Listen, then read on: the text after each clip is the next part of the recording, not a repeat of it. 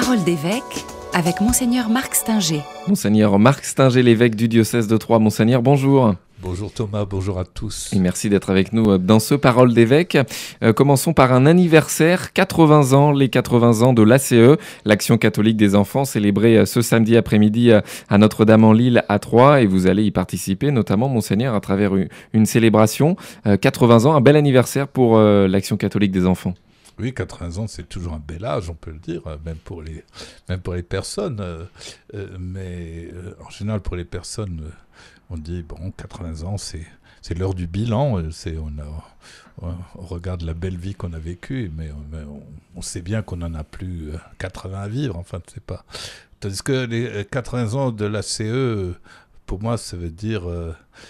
Ben, c'est, un point de départ de tout ce qui va, de, tout ce qui va encore arriver dans la suite. Il n'y a aucune raison que ça s'arrête comme ça. Euh, on peut se réjouir de, de, de, ce, de, de, de toutes de tous ces temps, pardon, euh, où euh, euh, à travers des clubs, à travers des, des, rencontres, les, jeunes, les plus jeunes en l'occurrence, enfin, on, puisse apprendre à se prendre un peu en charge, à faire des choses.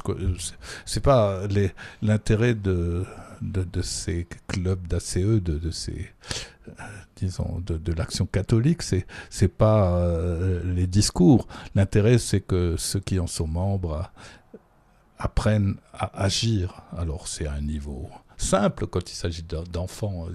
Ils, se retrouvent en club, ils font des actions, mais des actions dans lesquelles ils s'engagent. Je trouve ça très beau d'ailleurs de voir que bah, des, petits gamins et petites gamines comme ça que, qui, se, qui, se donnent à fond. Moi, j'étais allé avec l'an dernier avec le, Bureau national de la CE à Rome euh, euh, visiter les, les comme on dit, c'est-à-dire les, disons, les ministères du, Vatican.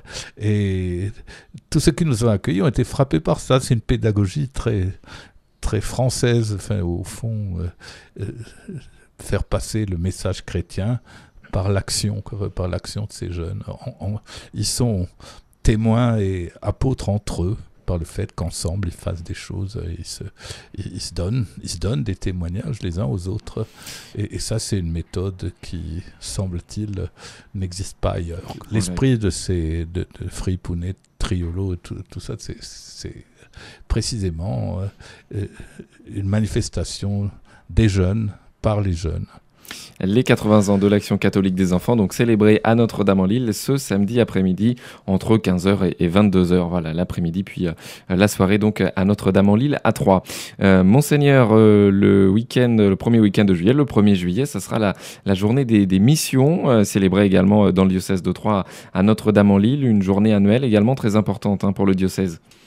Oui, c'est une journée annuelle et traditionnelle aussi qui nous rappelle bah, que notre Église ne s'arrête pas à la frontière du département. Nous sommes, nous faisons partie d'une Église universelle et, il faut que nous vivions avec cet esprit d'universalité dans les réalités de notre Église locale. Euh, je crois que c'est quelque chose de parfois un peu difficile à comprendre parce qu'on est tellement pris par des problèmes locaux ben, qu'on ne se rend pas compte que, au fond, que, qu'on est relié à d'autres euh, et je crois que c'est l'occasion de découvrir. Alors euh, autrefois nous avions des missionnaires qui partaient d'ici et qui allaient dans, les pays des autres, dans les autres continents. Aujourd'hui c'est moins vrai parce qu'on on ne peut pas envoyer ce qu'on n'a pas, en fait, c'est pas. Mais euh, mais il y a quand même deux, deux réalités qui, sont vraiment des réalités d'aujourd'hui. Il y a beaucoup de laïcs qui partent. Là encore, il, y a, des organismes comme le Fidesco, comme enfin notre organisation à nous, de, de je veux dire de l'Église de France, la DCC, envoie des laïcs pour des missions comme ça, pour bah, quand ils vont travailler dans un collège, dans un dans une de ces terres, c'est aussi une manière d'annoncer l'évangile. Et puis alors l'autre réalité, l'autre grande réalité, c'est que nous recevons des missionnaires qui viennent chez nous hein, pour, nous, pour, pour, pour, nous aider à, à vivre euh, la mission ici. Hein. c'est pas, ça, ne veut pas dire qu'ils viennent nous évangéliser, c'est toujours bon, on s'évangélise toujours les uns les autres, on a toujours besoin de ça. Mais ça veut dire surtout qu'ils viennent pour que euh, pour, pour que nous soyons nous aussi encore missionnaires. Enfin, c'est pas, ils nous aident à cela.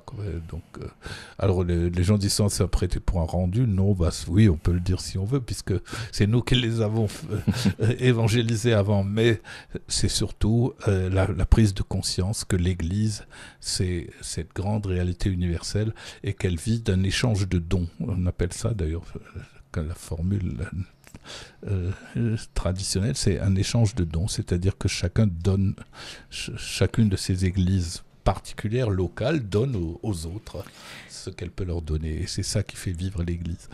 Et cette journée d'émission, c'est aussi l'occasion de, de, saluer la, famille euh, Martino, hein, qui est euh, depuis euh, plus d'un an maintenant en mission justement au, Cameroun. Voilà ces fameux, laïcs, ces fameux laïcs dont, je vous parlais tout à l'heure. Enfin, C'est un exemple, effectivement, et c'est un bel exemple. C'est une jeune famille qui, sont, qui, est partie avec tous les enfants. Hein. C'est un beau témoignage. C'est un beau témoignage qu'il donne là-bas, mais c'est aussi un beau témoignage qu'il donne ici sur ce sens de l'universel. Et puis, euh, plus proche de nous aussi, quand on parle de mission, on peut peut-être aussi citer euh, euh, ces bénévoles qui se donnent une mission cet été pour un jour en église, pour faire visiter les, églises dans l'Aube, à un autre niveau aussi. voilà, ils se, donnent cette mission de, faire découvrir les, églises du diocèse. Oui, c'est, c'est aussi un travail d'annonce de l'évangile de faire ça, puisqu'ils accueillent les touristes qui passent et ils essayent de leur faire découvrir le mystère qu'il y a dans les églises, parce que les touristes qui viennent, certains sont chrétiens, ils sont intéressés précisément par ces monuments de la vie chrétienne, mais, mais d'autres euh, n'ont pas trop de notion de ce que c'est la foi, la vie, la vie chrétienne, et, c'est l'occasion euh, de leur faire découvrir à travers le, une visite de, de ces lieux, de ce patrimoine spirituel, parce que c'est pas que du patrimoine euh, architectural ou, artistique, c'est du patrimoine spirituel. Alors de leur faire découvrir à travers la visite de ce patrimoine spirituel ben, quelque chose de, de l'appel chrétien, de l'appel du Christ. Monseigneur, un dernier mot euh, avec vous sur euh, la nuit des églises, découvrir autrement les églises, notamment ce week-end à Saint-Bruno à Troyes, puis à Saint-André-les-Vergers. Oui, donc euh, comme il y a la nuit des cathédrales, elle a déjà eu lieu, il, y a, aussi euh, la nuit des églises qui touche euh, plus largement un certain nombre de paroisses, d'églises. c'est toujours avec le même esprit, c'est toujours avec l'idée d'abord de, de permettre aux, personnes de découvrir la richesse spirituelle dont nous disposons à travers nos églises. Parce qu'une église, c'est pas seulement un bâtiment, c'est un héritage, mais c'est aussi quelque chose qui se passe aujourd'hui. Et c'est l'occasion de le découvrir. Il y a des gens qui connaissent de leur église la messe du dimanche et puis éventuellement l'enterrement du voisin euh, ou le mariage de la cousine. Enfin, mais, mais ça s'arrête là. Enfin, c'est c'est la seule perception qu'ils ont de l'Église, c'est déjà pas mal, mais, mais une Église, c'est beaucoup plus que ça. Euh, elle a un message, elle donne, euh, il y a un témoignage, et, cette nuit des Églises, c'est l'occasion de découvrir. Monseigneur Marc Stinger, l'évêque du diocèse de Troyes, merci beaucoup et bonne journée. Bonne journée à vous aussi. Et puis...